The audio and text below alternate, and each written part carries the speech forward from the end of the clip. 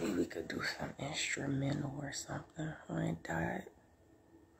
Hi everyone, welcome back to another predestined, predestined kingdom ministries international videos. Hallelujah, hallelujah. All glory be to God.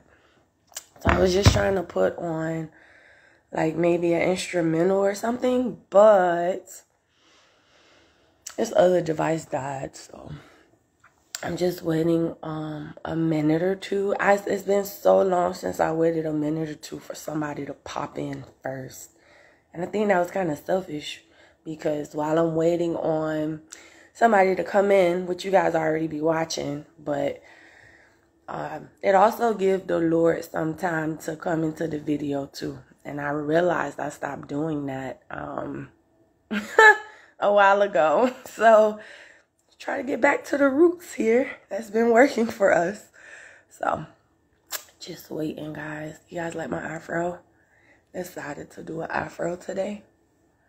So and it's like cool because it's my hair is really growing, honestly. I cut my hair. I did a big chop and went natural in 2012. I haven't cut my hair since. I haven't taken care of it. Well, I was. I, I used to take my. I used to take care of my hair. I used to play in my hair a lot and stuff at work too. On my old jobs. Used to be bored sometimes. But anyway. Dun dun dun dun. He said, "Okay, let's get started." Our Father who art in heaven, hallowed be thy name. Thy kingdom come Thy will be done on earth as it is in heaven. Give me this day my daily bread. Forgive me of all my debts as I forgive my debtors. And lead me not into temptation, but deliver me from all evil. For thine is the kingdom, power, and the glory. Amen. Welcome everyone. Popping on in. I will be reading from Proverbs 24 through 26. Okay. He who hates disguises it with his lips and lays up deceit within himself. When he speaks kindly, do not believe him, for there are seven abominations in his heart. Though his hatred is covered by deceit, his wickedness will be revealed before the assembly. Thank you, Jesus. Again, Proverbs 26, verse 24 through 26. This is the time where God is bringing judgment to the evildoers, to the wicked people. And you have to make sure you are right standing with the Lord. It's already done, the Lord is saying. Those who tried to repent, repented and did it again. Um, those who didn't repent didn't want to repent. So in over these next like week, you're gonna see a lot of you're to see a lot of judgment. I hate to say it, but it's to be death rising like God is not playing. He is not playing. So pray. He doesn't even want us praying salvation prayers for them right now because they don't want to stop. The enemy don't want to stop. And it's not, it, it, it's, it's the devil, but it's your heart. It's like this verse says, the abominations are in their heart. So it's like people just are evil. Some people are just evil. They're just evil. They don't want to change. No matter how much God showed them that they're wrong, they shouldn't have did this. It could be Yeah, I will hope I will hope nobody around you gets judgment, but this is real life. So you're going to see strangers getting their judgment. You're going to see um, friends and family members getting their judgment. You over this next week God is getting ready to do it. And I'm not releasing no date. I have a specific date, but I'm not releasing that date. I have a date that the Lord gave me If you guys want the date, go watch Stephanie P on via YouTube. But this verse was on my phone this morning, so that's why we reading this verse. And yesterday's verse as well. Like God is really trying to prepare His children for what we're getting ready to see. It's it's a lot, and it, God is not happy. So people cover their hatred with deceit, with lies. So that's why you hear a lot of talk about narcissistic people because that's what that kind of describes them. They're two faced in their two ways. And it's one side that you will see, and it's a whole other side that you wouldn't even imagine that they have.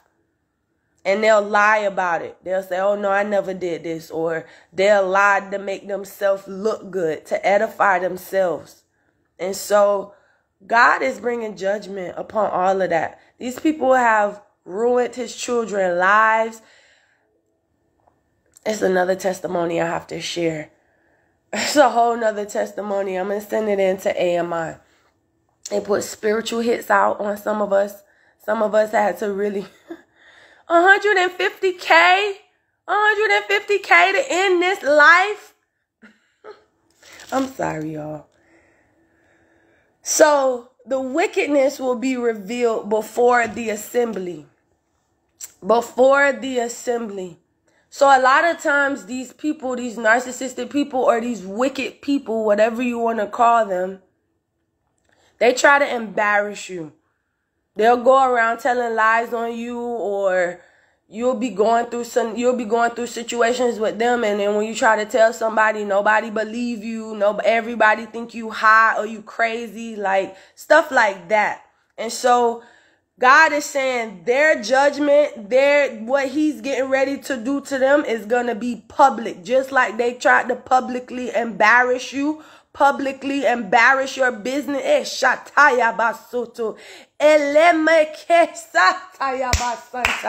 Jesus.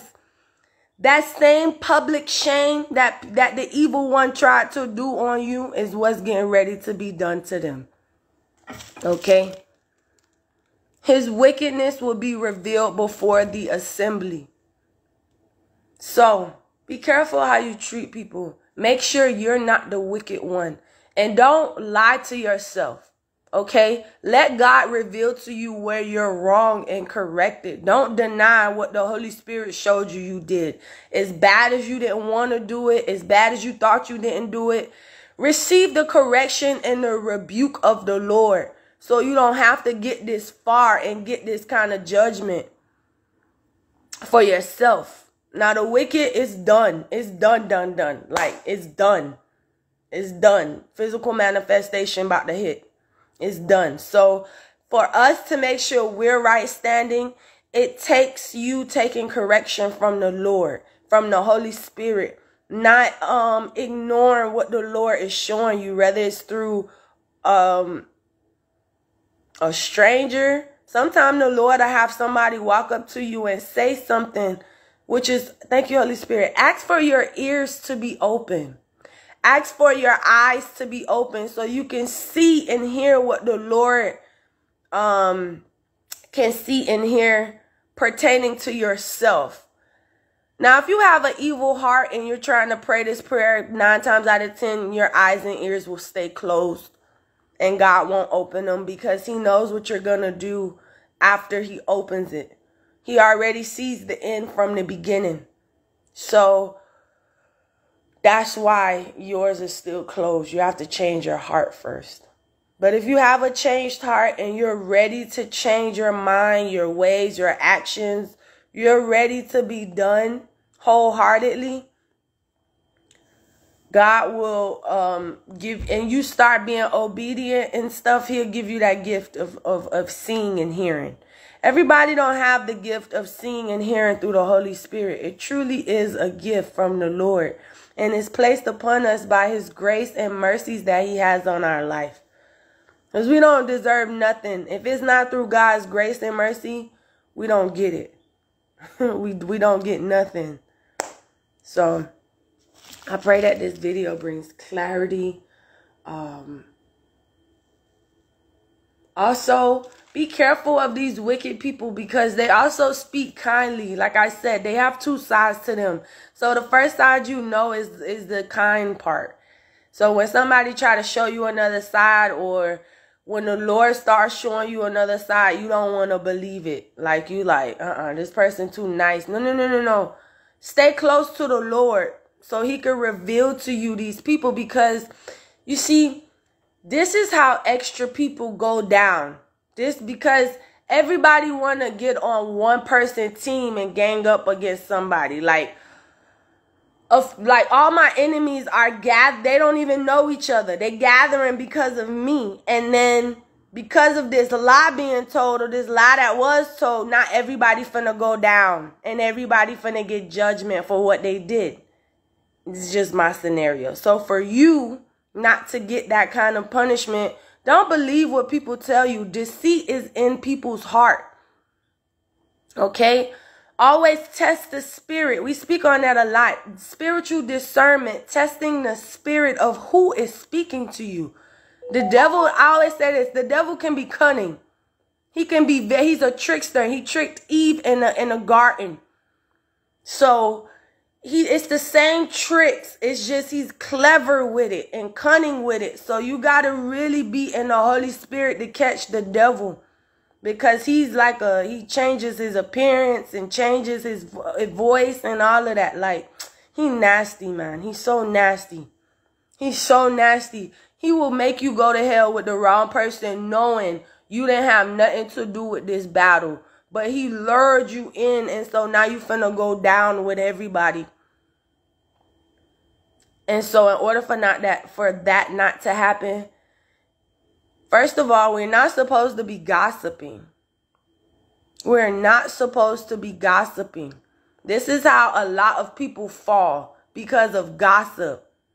Because everybody's trying to be on teams instead of just walking with the Lord by themselves. Everybody want to talk about this one or like if somebody come to you talking about somebody, hang up the phone don't sit up there and, and give energy to the conversation or light. Like it's because especially because you don't know if that person is anointed by God or not. So if you sitting up there talking about an anointed one, God says, do no harm to my prophets and touch not my anointed ones, the ones that he himself called and chose. You're gonna get you're gonna get your consequence, your judgment from the Lord. It got brighter. Praise the Lord. Then it got dark again. He's speaking. So anyway, this is how I'm serious. This is how this this is exactly how a lot of people are going to go down and get their judgment because instead of them going to the Lord and and just praying about what they were told or asking the Lord to reveal who's telling a lie, who's telling the truth. They went for what they were told and they went on the wrong side. And now everyone who has something to do with what God is bringing judgment on, it just depends on your situation. Everyone who has something to do with it is getting a part of that judgment that God is bringing. Who talked, who had a curse to say. And by the way, when God says curse, he don't mean profanity. Profanity, F-U, this piece of S-H-I-T, like that's profanity. Curse is like when Job cursed the day he was born, when he was going through his trial and tribulation. one time, one time my grandma overlooked some money up under her pillow, right? the Lord showing me this story. So one time she overlooked some money, right? She thought it wasn't in the place where she thought it was. And she called my mom panicking, right? And so my mom was like, I curse whoever stole that money. I curse the day they was born. I curse them. I curse them. Like my mama was cursing, right? So I heard the Lord say she cursing herself. So I didn't say nothing. I was just listening. And then, like a few minutes later, my grandma called back and she was like, I found it. I found it. And someone was like, Yeah, I was hoping so because I was cursing up a storm over here. You're not supposed to do that. You're not supposed to curse nobody. You're not supposed to curse nobody. It doesn't matter how bad something gets. And the reason why she did that is because we had an event, that same event, or we had something at my grandma's house that day. So she thought somebody in the family came in there and took it. But you see how fast that test was to show.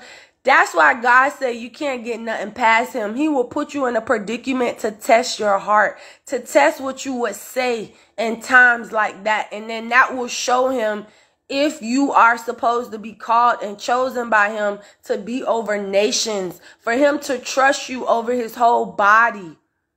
You can't curse nobody. Now, I don't use a lot of profanity over my lifetime, but I never cursed nobody. I never said, I cursed. No, no, no, no, no, no. I still slip up from time to time and use profanity, which I'm still getting delivered and healed from. But I never cursed nobody. Like, I never said, I hope you die. Now, I don't wish that for myself, going through my own trial and tribulation, which I've been very transparent on this channel.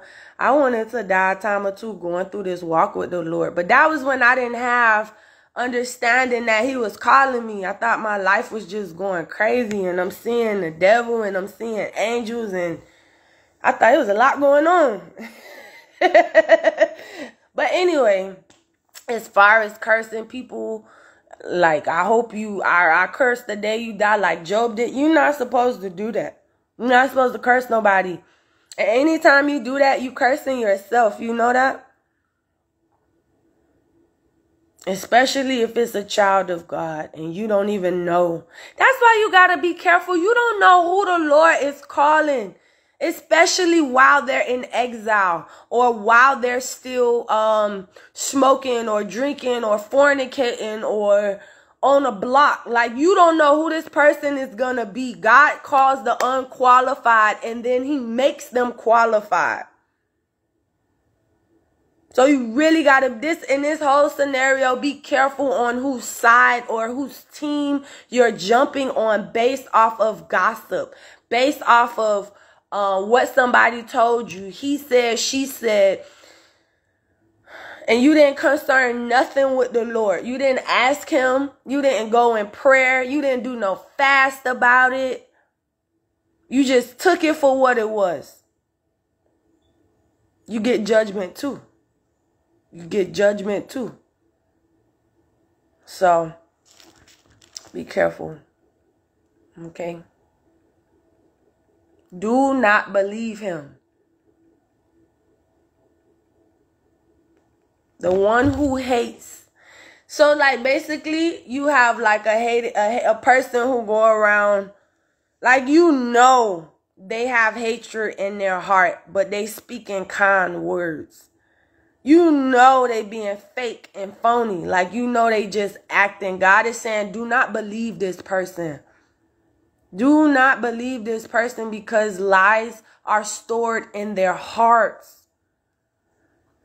Goes back to spiritual discernment. Spiritual discernment. Asking the Lord who is speaking to you when somebody say something. Was that the Holy Spirit, Lord? Lord, what did you mean by that? I got a parable the other day. Let me tell y'all. This is a perfect example. But this man is good. Like, he good. He always, the Lord always used him to speak a parable to me when he walking by. Most times. So, I love you, Lord. So he was walking, right? Walking right past me. I was outside doing my thing as usual. and he was like, It ain't too far to start walking. So I said, I knew it was the Holy Spirit speaking, so I said, What you said? he repeat himself. So I said, That was the Holy Spirit. That's how you test the spirit. See, when the Holy Spirit say something, the Holy Spirit know you heard what it said. It's God's living spirit.